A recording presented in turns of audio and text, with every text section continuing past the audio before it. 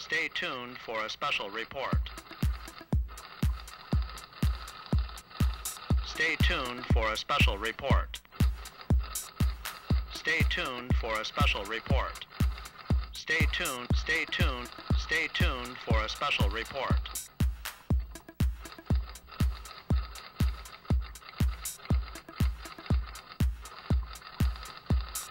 And now for a special report. It's the Harding Morning News. Good morning, Harding Middle School.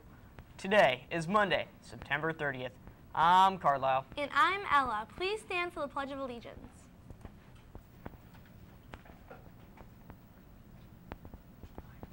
I, I pledge allegiance to the flag of the United States of America and to the republic for which it stands, one nation, under God, indivisible, with liberty and justice for all. Please be seated.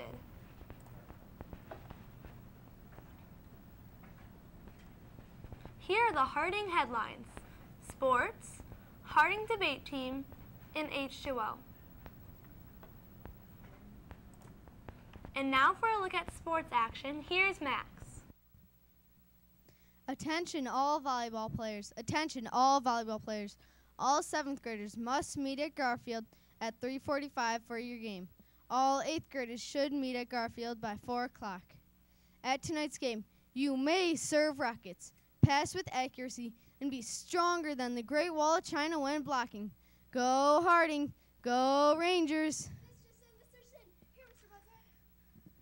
This just in, this just in. In honor of the Cleveland Indians playoff hopes, we are encouraging all students and staff to wear Cleveland Indians fan gear this Wednesday. So break out your tribe swag on Wednesday. Good idea, Mr. Kamak. Now back to the anchors. Attention Harding debate team. We will have our first meeting this Friday, October 4th in Mr. Spooner's room from 2.45 to 3.30. H2O, Help to Others, is holding their first meeting of the year tomorrow, Tuesday, October 1st. H2O will meet after school in the cafeteria. H2O meetings start promptly at 2.50 and will end at 4.30. Join H2O's high school volunteers tomorrow for a fun service project and games. Celebrating a birthday today is Logan Camp. Let's take a look at today's lunch. Chicken chunks, broccoli cuts, mandarin oranges, a whole grain roll, and milk from a goat. And now for a look at today's 238 forecast. Here's Lauren in our Weathernasium Super Weatherplex Doppler 9000 XL Storm Center. Good morning, Harding. Today's weather is 71 degrees, mostly cloudy.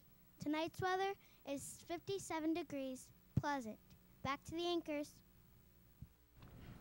This week's food for thought is from Eleanor Roosevelt. No one can make you feel inferior without your consent. Yes, no one can make you feel inferior without your consent. In other words, you only allow others to make you feel bad when you believe it yourself. Now it's time for the Harding Har Har. What do you call a fake noodle? I don't know, what do you call a fake noodle? An impasta. Get it, get it. that joke was written by our crack joke writing team of Alex and Joe. Thanks for joining us today. We hope that you have a wonderful day filled with learning and friendship here at Harding Middle School. See you tomorrow.